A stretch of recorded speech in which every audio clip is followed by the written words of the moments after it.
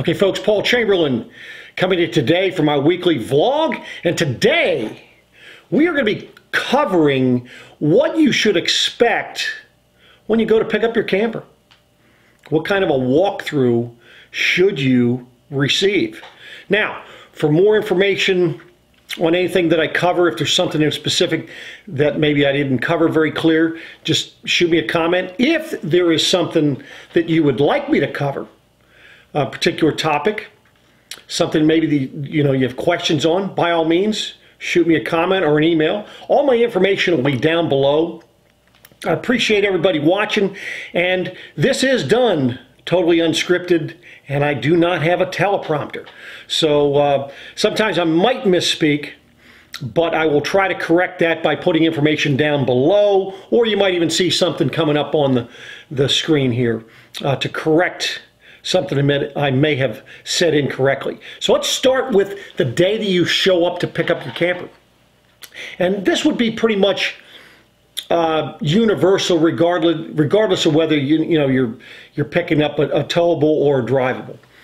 Uh, I realize pop-ups are going to have a couple other things. And by the way, I plan on doing uh, walkthroughs on different campers this season, so do stay tuned, and uh, I'll be putting those up. And appreciate thumbs up if you're liking what you're hearing here. And uh, like I say, stay tuned and please subscribe to my channel to keep up to date. So let's start with the day you pick up your camper. Typically, what happens, and I'm going to be telling you from what the way I do it, um, and basically what you should accept, you should be expecting the same type of uh, uh, information being given to you as well. And I know a lot of times I get people that this may be their fourth or fifth camper, and I still go through these this process with them because I can't tell you how many times that maybe they were misinformed, or maybe there was a change in the RV industry. Imagine that, actually having changes. But anyway, so the day you'd come in, and let's just, for this case, let's just say it's a travel trailer. You're coming in and you're picking it up basically what we do is the day you come in, I take your uh, vehicle keys. I'm giving that to my service department. They are going to be going ahead and taking care of the hitch work if need be. And we're going to go on out and we're going to start on the off door side. Now the slides will be closed at this time. Um, typically I'll have it plugged in already and we're going to talk to you about when you get to the campground what you're supposed to do. And basically what I'm telling you is first of all you want to level it side to side. Now I know folks some of you may have the automatic leveling system, so you may not have to go through this process, but you still may have to go through some of it uh, if you have an automatic leveling system and the tires come off the ground. So keep that in mind. So what I'm telling folks is, first of all, to level side to side, you need to run the tires over something. Now, whether you're buying the building blocks or something I recommend you get is get yourself some 2x12s cut them in a um, like a six foot section and a four foot section. And that should be pretty much enough for you to level side to side if you ever need it. When you do that you want to buy um, pressure treated lumber and you want to have the ends uh, beveled to make it easier when you um, roll up onto that wood. The reason why I say the 2 by 12 I know that's wider than the tires but that gives you some room for air um, so that's the first thing. You level side to side Next, what you're going to do is then when you disconnect from your vehicle, that's where you're going to level front to back. All right, so before you go ahead and disconnect your vehicle or the tow, your travel trailer or RV from your tow vehicle, one thing you want to do, folks, is chalk your tires. This will keep it from rolling in the event that you're uh, on slight a hill or something along those lines.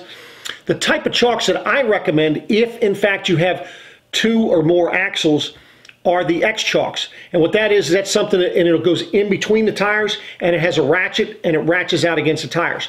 Folks, do not over um, extend those. You don't want to break the steel belts in your tire. You want to have them snug, but keep in mind one thing. When you put any chalks on your tires, after you've been towing, your tires are hot and they will cool down and then when they're hot they expand they cool they're going to contract a little bit. So you're going to have to reposition your chalks in the event um, well once you have it, it cools down. So you know later that evening or the next day. Um, if in fact you put your chalks on your tires properly, folks, you will have less movement of your unit, regardless of whether it's a travel trailer, whether it's a fifth wheel. Of course, if you have a drivable, you have a parking brake, so you shouldn't have an issue there. Uh, single wheel trailers, what I tell you to do is, of course, get yourself, uh, you know, those plastic chalks or something along those lines. And what you want to do is, before you disconnect, you want to back up hard against those chalks and then put the one in the front. That way there, it's not going to roll down as much and you will have a better, a more stable uh, camper for your trip. Okay, so we've chalked the tires, now we've disconnected, we're level front to back. Next thing you're going to want to do is put your stabilizers down. And remember one thing, folks, those are stabilizers, they are not levelers. Okay, the ones that you crank down or if you push push a button for the electric ones that they have. Uh, but cranking them down, the ones that crank down, you can use yourself a, a power drill if you want. Just don't get one of those hammer drills. Three quarter inch socket and you can zip them down. Once they touch the ground, folks, two to three turns. And that should be plenty. Um, something I recommend is giving yourself a better base underneath your stabilizers. And for that, I'd recommend 6x6s. I tell you to get five of them. You put one under each stabilizer and one under your tongue jack. That way there you don't have to put it down as far and it is a better base. Now for those of you that have an automatic leveling system, not necessarily needed, you can get yourself like a 2x12 if you wanted to to put up underneath your uh, four or six point leveling system to give you a better base um, as well. All right, so now we're stabilized, we're leveled. Now we need to hook it up. So you're gonna have your electric, you're gonna have your water, you're gonna have your sewer. Then of course your cable, or if you're hooking up a portable satellite dish, you're gonna connect those as well. Next thing, while we're at that area, I will discuss with you how to empty your tanks. So first of all, you're gonna be dumping your black tank. Now, once your black tank is dumped, what I talk about is connecting a hose if in fact you have a black tank rinse, hooking one up and rinsing through your black tank. Now the best way to rinse through your black tank, folks, is to, and I know it does not, it tells you not to do this on the side of your tank. So when you do this, folks, please do stay on task. Do not get sidetracked. But basically you're going to hook that uh, up to your black tank rinse. You're going to uh, let it run for a few, then close it let it fill up about two thirds. And what you want to do on that, folks, is walk inside and watch that. You stay there right at the uh, where you check your tank levels, and you're going to watch when that gets to two thirds. You walk back out and you pull that. Now, if you get one of those clear uh, connection points, you'll be able to tell when your black tank is is cleaned out. The better you clean out your black tank, folks, the less odors you're going to have. Um, and I'll talk about one other thing in, in a few about what you could do to alleviate those type of issues. Um, so that is your black tank. Now you say, well, Paul, what happens if I get off if I get off task? What happens? At that point, folks, there is a tube that goes from the black tank to the roof. Now, assuming that the seal on your toilet is good, that black tank, when it is full, is going to run up the tube and it's going to just dump it out all over the top of your RV. That is what happens. That's a pretty, uh, it's a mess as they would call it. Um, so do not, do not do that. Stay on task and you'll be fine. So the next thing you could do in order to alleviate odors in your black tank is to put chemical and water, about a third of a tank, and your chemical back in your tank before you leave the campground. What that does for you folks is as you're driving home and as you're driving back to a campground the next week or two, that's sloshing around in your tank and it's going to keep it clean. Next time you go camping, you already have the chemical in there and the water's there, so you just got to use it. Um, so that's your black tank. After your black tank is done, then that is when you'll open your gray tank valve. And what that's going to do is that's going to rinse through with your soapy water from your sink and shower. That'll rinse through the, the tube and uh, clean that out for you. Just makes it a little bit nicer, more pleasant when you disconnect that and then go put the hose away. All right, so now we're done with that point. Of course, show you where the water hooks up. Um, on some campers, your water where you're hooking up, you can fill your freshwater tank uh, there as well as a, they'll have a manual fill area as well. So point that out. Some in that area are going to have a uh, battery disconnect or your outside shower. You know, it'll all those types of things in that area. Next, what we're going to do is up in the front of the camper on the off door side, you're going to have stickers talking about your gross vehicle weight rating, your axle ratings, your tires, and everything else. Right there is going to give you the tire pressure uh, needed for your particular camper. So th that is that. Now, while you're on this side, most people have the camp, you know, your slides on that side. What you can do in order to make sure that you have enough room for your slide to go out instead of having to worry about it, if you will just put your arm up against the camper, stand there, typically from your hand to where your shoulder is is about the, the depth of that slide out. And as long as nothing is in that area, then you should be fine. So just kind of an easy way for you to check it. Now we're going to walk to the front of the RV. And we're going to talk about most people are going to have dual tanks, whether they're 20 or 30 uh, pound tanks. Uh, and what, what I talk about here, folks, is the automatic switchover. The best way to show you that, and by the way, uh, some of these things I'm going to be talking about, such as the LP, your refrigerator, your water heater, your thermostat, I have how-to videos. You can check those out on my uh, channel as well. Um, and if there's not one for your specific camper, let me know. I'll be more than happy to um, try and do one for you. So here's what I do is you have two LP tanks and it's going to have an automatic switcher over on it. And that automatic sw switch over section on there does not mean that you need to be moving that lever back and forth for it to automatically switch over. It automatically does, regardless of what tank that thing is pointing at. The way automatic switchover works is when one tank is empty, assuming your other tank is open and has LP in it, it will automatically switch over to that. You will not know the difference if you're running your furnace, uh, your refrigerator, if you're cooking in the oven or whatever. You will not know that that switched over. Now there is going to be a sight glass and there are different sight glasses on there. Uh, they're either going to be uh, clear or green when they're good on the tank that it's pointing to. It'll be red when it is not, when it, that tank is empty. So what I do is I'll typically go in and turn on a furnace or the cooktop and I'll come out and I'll shut the tank off that that thing is pointing to. And what I'm doing is I'm demonstrating that that tank, when it goes empty, that we still have LP going to the cooktop. At that point, I show them by turning that dial to point to the other tank, it's going to go back to being green or clear at that point, it's going to be drawing from that tank. So this is something you check at the end of your camping trips. If a tank is empty, what you do is after you shut them down, you take that tank off. Do not leave a tank open when you when you open it because it will be pulling air and it create a problem for you. So make sure the tanks are uh, shut off before you disconnect the tank. So you take that tank off, you'll get it filled, put it back on. Very critical, people. When you um, go to open your tanks to be used. Always open the tank that that lever is pointing to. Because the first tank that you open is the tank that the LP will be drawn from. So you see where that could be an issue? If you continually open the tank that is it's not pointing to, if that tank runs out and you know you're checking every time you're seeing okay it's it's green, it's green, it's good, um, well, that's because it's pulling from this one. Once this tank goes empty, you're out of LP.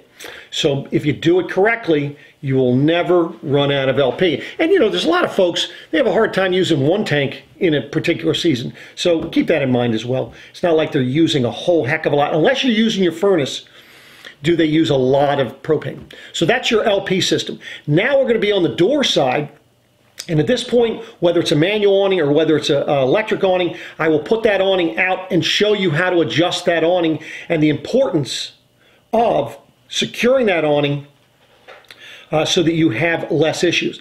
Folks, I see a lot of people blogging or they put out there, they're asking questions about, oh, geez, I left my awning out and of course it, it goes straight. And I left it out in the rain. Well, you know, so-and-so told me, well, it has these struts on it and once it fills up with water, it'll dump. Folks don't believe that. If your awning is going straight out, make sure that you adjust it so that there is a slope. Now you can also adjust it so it can slope to the front or the back, but you want that thing at a slope all the way across that awning. And then you want to secure it at that point. If you do that, you can leave the awning out if it's raining because the water's just going to run off it. You know, when I'm out camping, I, the last thing I want to do is put away my awning because now I can't sit outside. Normally it's pretty nice weather, but now I can sit out under the awning and enjoy listening to the pitter patter of the rain on, on the awning and, you know, watching the sights. So that's for your awning. Um, next thing, of course, on your door side, you're going to have outside stereo speakers. You're going to have um, your outside electric. There'll be an electrical outlet that goes to a GFI on the inside. Typically, you'll have a place for the stove. Now, that for the stove vent, might be on the door side, might be on the off door side, but show you how to open that up and close it. Important that you keep it closed when you're not using it. Um, and then, of course, I'll show you where the water heater is on the outside and talk to you about whether it's an Atwood or whether it's a Suburban water heater and explain those differences to you. And explain how, when you're filled, before you ever turn the electric or anything, before you ever turn your water heater on, be sure that you turn uh, that you turn on a hot water spigot, and after you're hooked up to water, it'll spit and sputter until that water heater is full. Then I explained to you that when you're done camping, to make sure that you run the hot water out of it, make sure you shut it off, run the hot water out of it, and pull the plug as you so it, as you drive home, all the water will come out, and then put the plug back in. By doing so, folks, you run uh, you don't run that risk of having that awful smell from that water sitting in that tank over time. You know what happens to stagnant water. And at this point, I'll show you where the low point drains are and ask you to go ahead and unplug those. And I tell you, just take the, if, if you have plugs, just have them set it in the water heater area and then put them back on again when you get home. The, the key, folks, if you do certain preventative things, you will enjoy camping. You know, th this vlog, my channel is all about helping people create memories that are going to last a lifetime. So now we'd be done on the outside. Uh, and other than showing it, if you had an outside kitchen, outside storage, show you that, that stuff as well, we would go inside. Once inside, what I have you do, folks, is I have my customers check every cabinet, every drawer, make sure that everything works. So if we're in the kitchen first, we're going to do the kitchen first. So I'll do that kitchen. From there, then what we're going to do is start doing the walkthrough in that particular area, starting with your monitor panels, with your water heater, with your uh, awning, all that stuff, all your lights and so forth, checking your levels. The water heater, if you have a gas and electric water heater, whether it's a Suburban, whether it's an Atwood, I tell people, listen, you've already paid the electric for the site, so turn on the electric side. From there, what you're going to do is, if in fact you're going to be taking multiple showers, I tell you to turn on the propane side. What that propane side does for you, folks, is doubles, maybe triples the amount of hot water that you will have per hour. So let's talk about the Suburban. Suburban water heaters are going to give you, if you're running uh, both, um, both electric and propane, they're going to give you about 16 gallons of hot water an hour. And folks, it doesn't matter whether you have a, a 6, a 10, or a 12 gallon water heater, it's all the same on your, and the way that breaks down, it gives you about six gallons of hot water on electric, gives you about 10 gallons of hot water on propane, and then the course the two on, that's where it's going to give you a little over 16 gallons of hot water per hour. Now, if you have the Atwood water heater, um, that one is a little bit different if you get larger um, water heaters. But for your standard six gallon water heater, it's about six gallons on electric, 11 gallons on propane, and it's going to give you close to 18 gallons of hot water if you're using both. And you can use both. Now, once you're done with the, the last shower, just shut off your propane and just let the electric uh, heat it up. So that is your water heater. Now, folks, you're also going to have, typically in this area, you're going to have a water pump switch. That is only needed if and when you're using the fresh water tank, um, you don't need the water pump when you are hooked up to a hose because when hooked up to a hose, you are um, utilizing the water pressure from that particular uh, campground. So that's that. So now we've, we've gone through that. Now while we're still in the kitchen, at this point, I'm going to go through and show them how to light the oven, how to go ahead and light the stove. And the stove is critical, folks um, people don't realize sometimes it used to be if you have something that's prior to 2005, you can turn that dial 300 and light that the pilot, stand back, and it, in about a minute it'll finally light and everything will be good to go. With the newer campers, you have to push and hold the thing in on pilot while you light the pilot. Then you check that by let go the, the knob. If the pilot stays on, you're good to go. Turn the knob, it's automatically on. When you're done cooking, if you want to use it the next day, you can just turn it back to pilot. It's going to stay on, and that way you don't have to get on your hands and knees to light it again. On your stove top, a lot of times they have the strikers, so you just turn the striker, um, and you got to turn it clockwise. You turn it counterclockwise, you will break it. Worst case scenario, you break it, you're going to use the lighter you use to uh, light the oven. Not a real big deal. Um, now, at this point, what I'll do is I'll talk to them about the LP leak detector. LP leak detectors are typically in the kitchen area. Uh, and they're down low. Sometimes they're a combination uh, carbon monoxide and LP, and you'll be able to uh, see what light is on uh, to let you know when it was signaling you, whether it was uh, carbon monoxide or LP. But what I explain to people is that that LP leak detector is very sensitive. So if you are spraying any aerosol, it could set it off. So just be cognitive of what's going on if in fact it does go off. If you have a dog, depending on the size of the dog, if your dog is laying, and this is this is kind of important too. Again, this is one of those things where you have to be aware of what's going on. If your dog is laying next to that LP leak detector and accidentally lets one loose, or maybe on purpose, that will or could set off the LP leak detector. But I can assure you folks, you will know the difference. Now, let's say that in the at any time that that LP leak detector goes off, and um, whether let's say it's in the middle of the night, what I recommend you do is when you get up is open a door, because LP is heavier than air, and that'll let the LP go out. Now what you're going to want to do is check your burners and see if somebody maybe left one of the dials on. If somebody left one of the dials on, you're good. That's what caused it. Just shut it off. You can mute the LP leak detector and you know let things air out, you'll be good to go. If in fact you do smell LP, but those dials were not left on, at that point what folks you need to do is go out and shut off your LP bottles. You're going to need to get somebody in to do an LP leak check. Do not take your little lighter and go around and try to find a leak. That's not a good idea. So that's on the LP side. Next, we're going to talk about the refrigerator. Now with refrigerators, you know, you could have a three-way refrigerator, you could have a two-way refrigerator, um, or you could have just an electric refrigerator. So let's talk about the electric refrigerator first. Some people have these 110 refrigerators in their campers. Now, and I'm not talking about the ones that are out in your outside kitchen.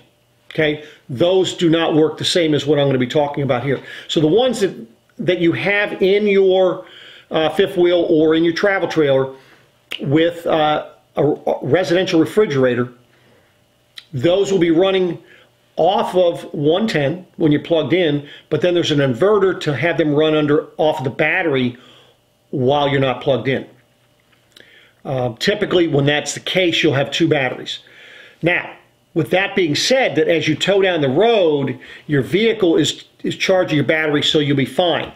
But those type of refrigerators will only give you somewhere between 8 to 10 hours if in fact you decide to boondock. So keep that in mind if that is something you plan on doing. You're going to want to have to have a generator or some other means of keeping your food cold. Now let's talk about the two-way refrigerator, meaning um, we're talking LP and 110. Those have an automatic switchover, and what I do is I explain to people how that works. I tell people always leave it in auto. That way there, um, it will automatically switch from propane to 110 if you plug in, or vice versa.